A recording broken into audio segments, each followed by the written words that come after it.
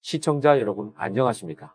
금융당국이 K뱅크의 스마트폰 해킹 피해에 대한 내부 통제 체계가 미흡하다고 판단하고 점검에 나섰습니다.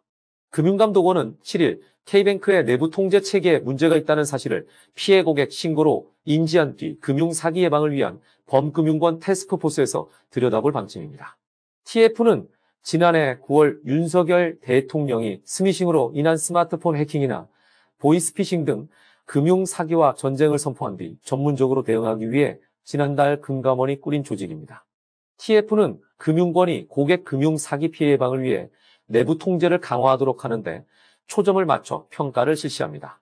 이 과정에서 K뱅크의 현행 체계를 점검한 뒤 페널티를 부여하는 방안을 검토할 계획입니다. K뱅크 내부 통제 체계가 심각히 미비하다고 판단되는 경우 TF가 점검 결과를 금감원 검사 부서에 전달할 가능성도 있습니다. 앞서 K뱅크에서는 스미싱 피해를 본 고객 계좌에서 550만원가량이 국외로 인출되는 사고가 최근 발생했습니다. 피해 고객은 스마트폰 해킹 사실을 인지한 즉시 K뱅크 대표 번호로 전화, 대출 상담원에게 연결해 계좌 정지를 요청했습니다. 그러나 K뱅크 대출 상담원은 권한이 없다며 계좌 정지를 미뤘습니다.